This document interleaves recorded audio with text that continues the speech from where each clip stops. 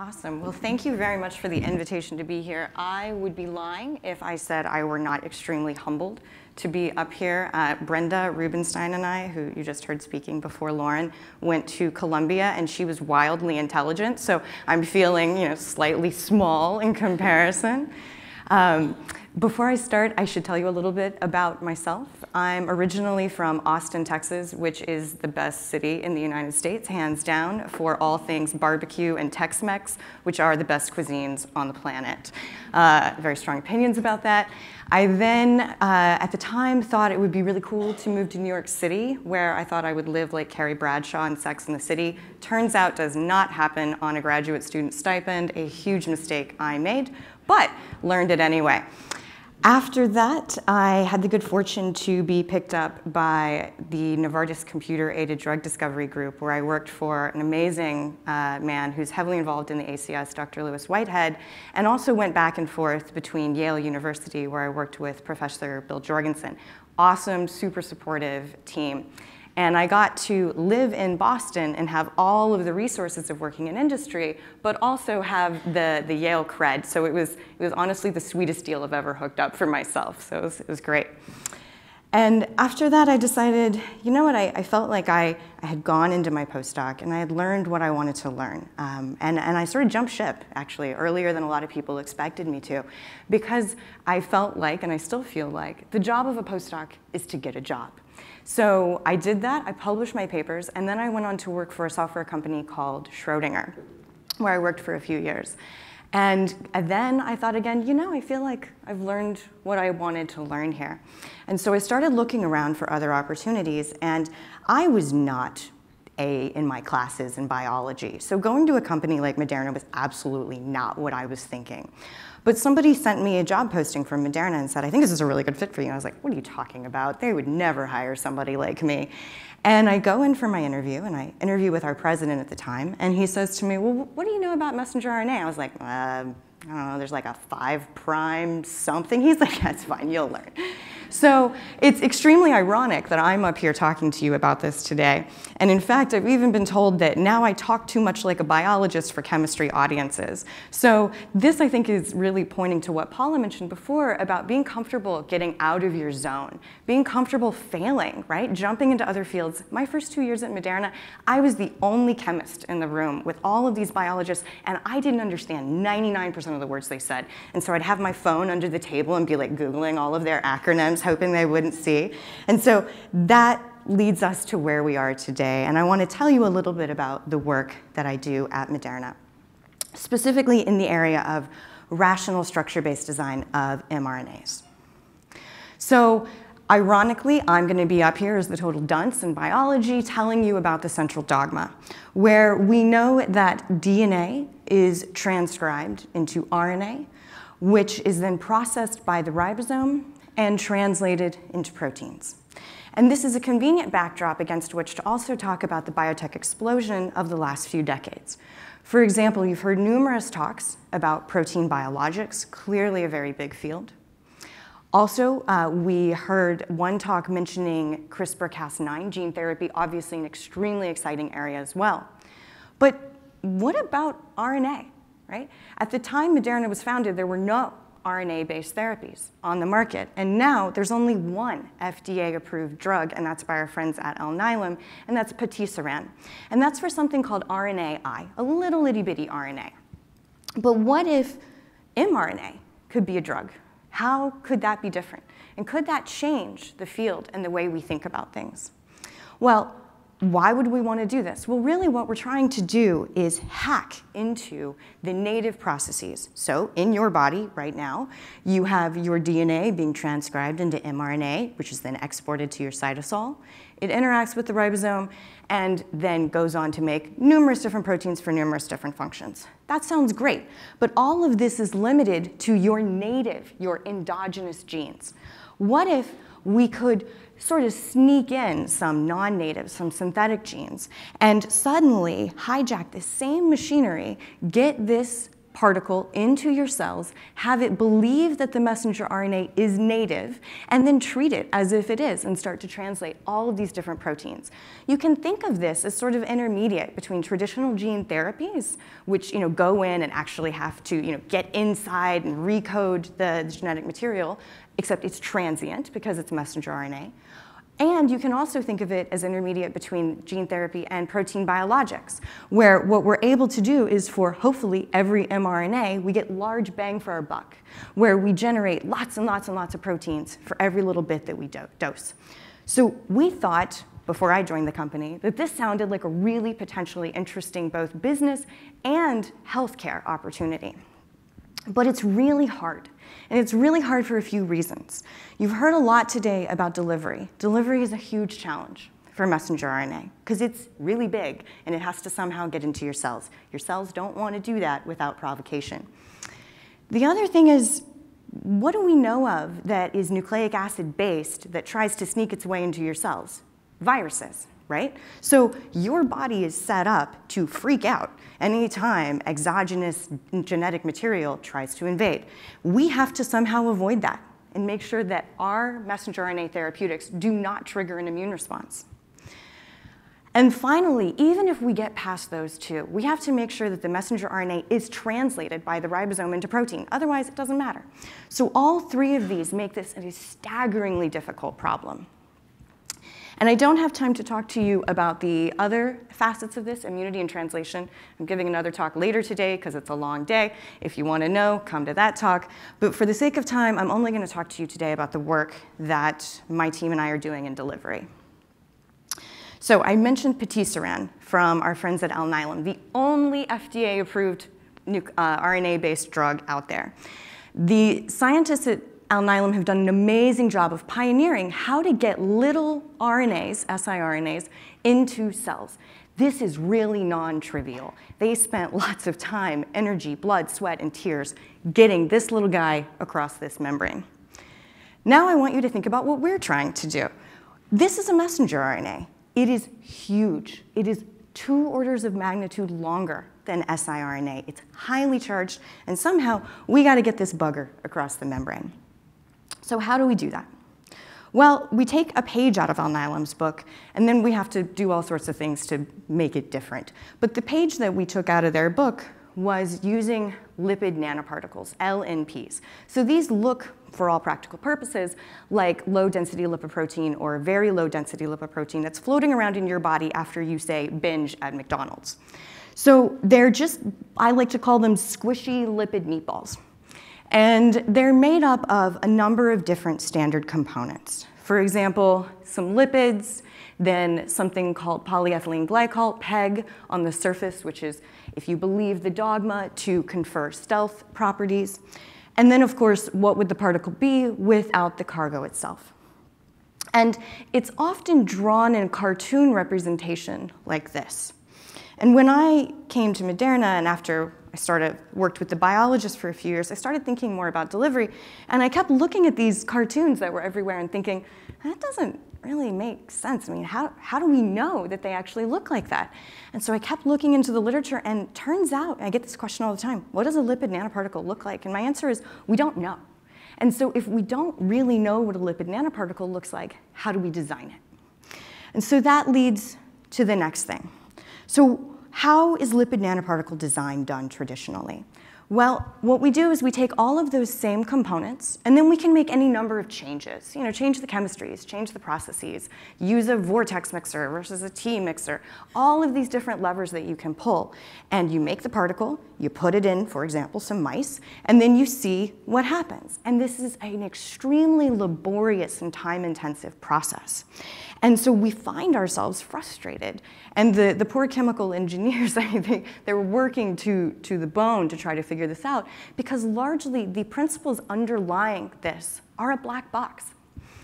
And so I came in to the problem and you know, being a chemist by training, I thought, well, this isn't a black box. Really, what you're thinking, what, what you need, what the missing link is, is just the structure right? If we knew what the structure of a lipid nanoparticle was, we could start to think about structure-function relationships, something that chemists love to think about, myself included. But again, we don't know what they look like. You know, maybe we have a cute cartoon here that's kind of representative, we tell ourselves. Or maybe the lipid nanoparticle is really, really amorphous. Maybe it's highly ordered. Maybe it's like an onion with many layers of lipid all compacted together. We just don't know. And so my team and I, along with uh, some experimental colleagues, set out to derive the relationship between lipid nanoparticle structure and their function. And this is an insanely ambitious project where we're using basically every biophysical technique under the sun. And one technique that we're really pioneering is the use of computational modeling. So modeling lipid nanoparticles is kind of a suicide mission, and I'll explain why. This is that same cartoon I keep showing you for a lipid nanoparticle, and this is a very short all atoms molecular dynamics simulation of just one of our ionizable lipids. So just one, and I want you to see how dynamic it is, how many degrees of freedom there are. Okay, that's one lipid. Now consider the size scale of a lipid nanoparticle to that single lipid. So there's that lipid, two nanometers in diameter. Here's your lipid nanoparticle, 80 nanometers in diameter generally. And it consists of tens of thousands of different components. And I'm not even talking about the water molecules that are around it, other solvents, other excipients, other counter ions, or the air uh, in the vial in which it's stored. So this is an extremely complex system. And when I thought about studying this computationally, I think my boss thought I was crazy. And I went to him a few times and eventually started to wear him down. And the way we were able to finally convince him and management above that we could do this was by saying that we, we wouldn't model this using conventional modeling techniques. So that same simulation that I just showed you before is done using uh, what is standardly called the all atom representation. So this is where we represent molecules the same way you would have done in organic chemistry class when you built ball and stick models.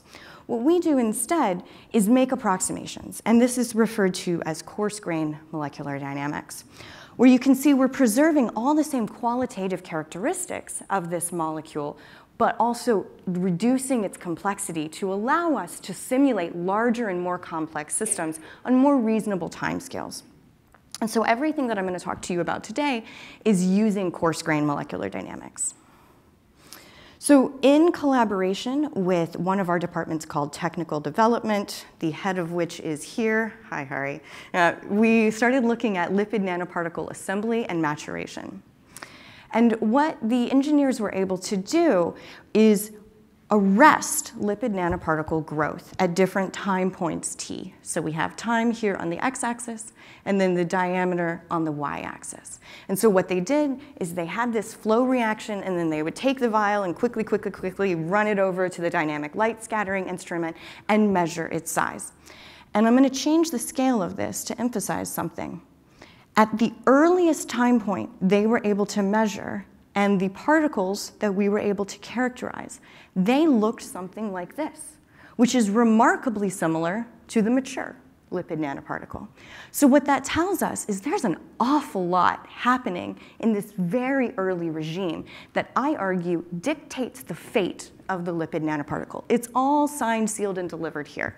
So Unfortunately, without insights into these early time stages, this was a black box. And this makes optimization of lipid nanoparticles, of their structure, of their function, extremely difficult. So what we decided to do was investigate this. We wanted to look at this really early time scale. And we're able to do this, of course, with molecular dynamics. So this is a simulation run by a guy on my team, Dariush, who's wildly talented. He's the expert in coarse grain simulations of lipids. So we were extremely happy to get him.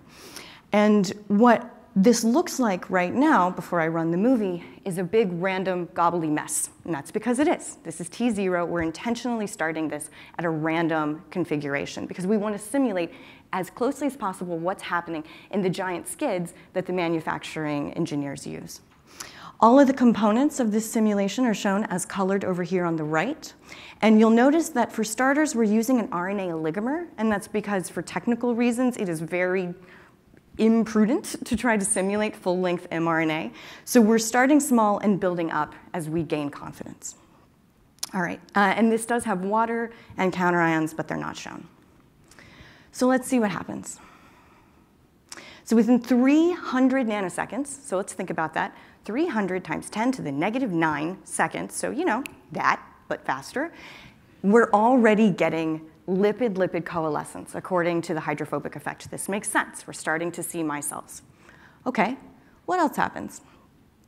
Well, the simulation will proceed, and at one microsecond, again, 1 times 10 to the negative sixth seconds, like that, but faster, we are getting now appreciably spherical micelles, and RNA, the little orange guys, are associated. And when I first saw this, I, I kind of started to panic. And, and I said, no, no, no, something has to be wrong. Uh, the RNA has to be inside. That's the whole premise. You know, the RNA isn't protected from the environment unless it's inside.